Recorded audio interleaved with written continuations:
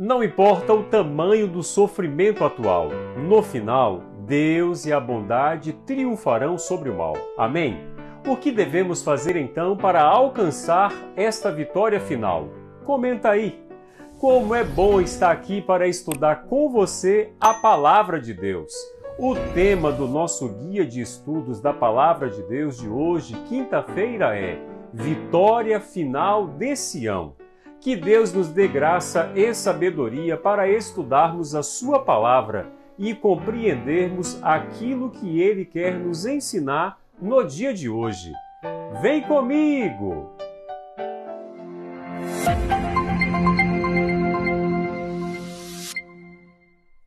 O texto bíblico do nosso estudo de hoje diz o seguinte: na verdade, a terra está contaminada por causa dos seus moradores, porquanto tem transgredido as leis, mudado os estatutos e quebrado a aliança eterna.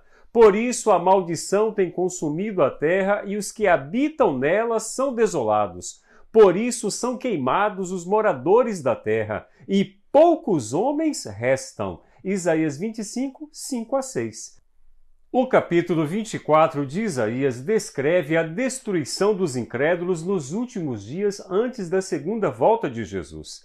Este capítulo serve como uma introdução para os quatro capítulos consecutivos até o 27, que falam sobre a destruição dos incrédulos, a segunda vinda de Jesus e o começo do seu reinado glorioso. Deus se dirige aos habitantes de toda a terra. Ninguém, nem mesmo a terra, será poupada da devastação vindoura. Com muita frequência e regularidade, nós transgredimos, violamos e quebramos nossa aliança com Deus em pensamentos, palavras e ações. O juízo que foi profetizado nos capítulos 13 a 23 para cada uma das nações envolvidas com a Palestina, agora está sendo apresentado como eminente a ser derramada sobre a terra como um todo. O pecado afeta toda a criação. Em Gênesis 3,17, a palavra de Deus explica que um dos resultados da queda é a maldição da terra. Misericórdia, Senhor.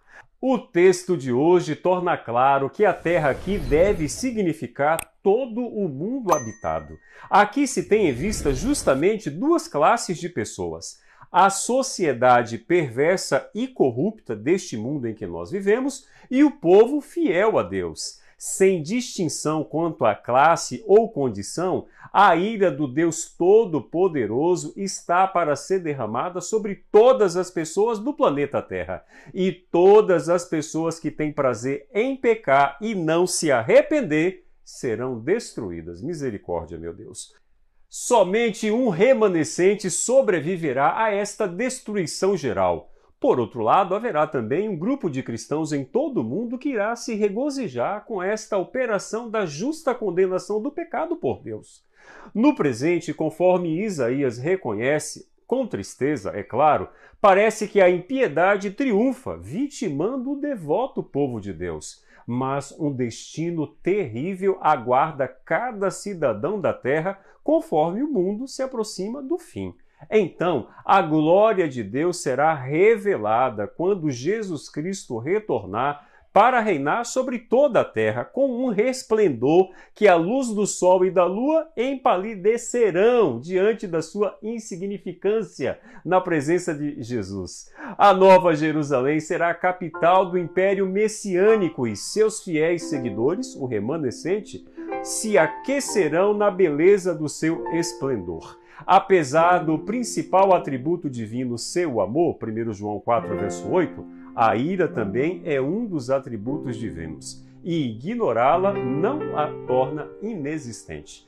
A Bíblia diz que Deus é tardio em irar-se, mas também deixa bem claro que chegará o tempo em que derramará sobre o mundo as sete taças de sua ira. Apocalipse capítulo 16, verso 1: E apenas os justos serão poupados. Meu Deus do céu, que Deus tenha misericórdia de nós. Fortaleça a sua vida por intermédio do estudo diário da palavra de Deus e tenha um dia abençoado. Vamos orar? Olha, bondoso Deus, nós estamos na expectativa deste dia chegar, o dia da vitória, Senhor, do amor, da justiça e da bondade. Preserva, Senhor, a nossa vida e não permita que o inimigo tenha poder para destruir a nossa vida. Que possamos estar cientes, Senhor, de que temos que obedecer a Sua lei, temos que guardar a Sua lei em nosso coração para sermos poupados da ira vindoura. Nos dê um dia abençoado em nome de Jesus. Amém.